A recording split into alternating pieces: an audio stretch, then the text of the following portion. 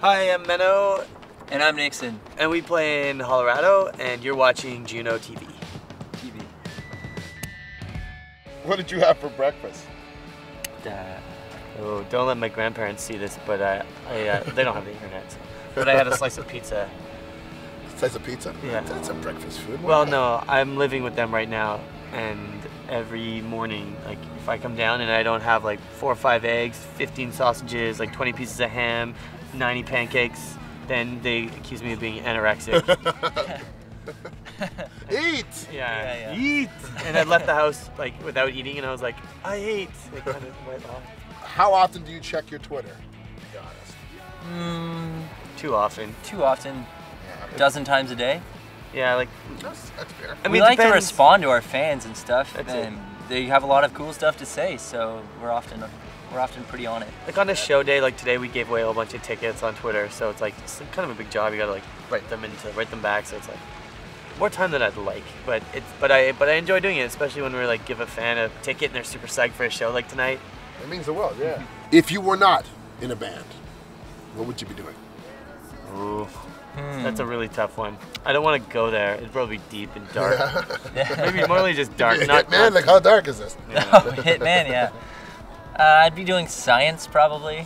Yeah. Uh, I kind of like science. Nick had three years of an engineering degree at McGill, Okay. and then So I, but then I switched to band.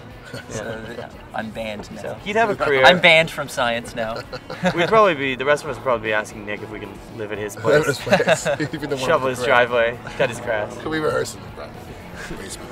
Tell us something uh, about you that your fans do not know about you.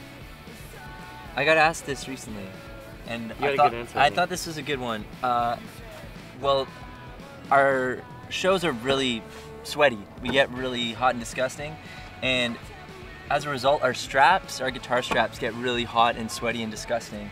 So they start to stink really badly, really fast. And it's not like your clothes, which you throw in the laundry. You think to throw your clothes in the laundry, but your our straps just get like sourer and sourer uh, every day. So we have to switch guitar straps more more often than probably most bands, I think. Yeah, they really smell. It's like hockey equipment. Yeah, it's, Yeah. it's almost worse for some reason. I don't know why. It's really it's, Nick especially. This is the Mine worst. is terrible. But imagine Jake had a guitar strap. yeah. guitar If strap. our drummer had to had to wear sweat- a strap sweat or the something. most? Oh yeah, by far. Yeah. Seriously. what song is in your head right now? My Um, head's blank right now completely. okay, what's gonna come in first? Ghostbusters? Ghostbusters? Why did that happen? Uh, I don't know, man. That was Ghostbusters? I thought it was, I thought it was Bubba Band. Um, Yeah, there's like. a million songs that go like Danny and Ernie.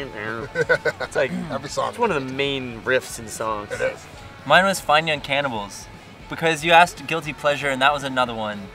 That, but they're awesome. I don't. I That's shouldn't a guilty pleasure. No, no, No, they're no, awesome. no. So, That's but that band, after I mentioned Tears for Fears, Fine Young Cannibals popped Jumped into in my there. head, and like, it's, "Hey, house?" yeah, they're still there. That's like a 100% innocent Yeah, pleasure.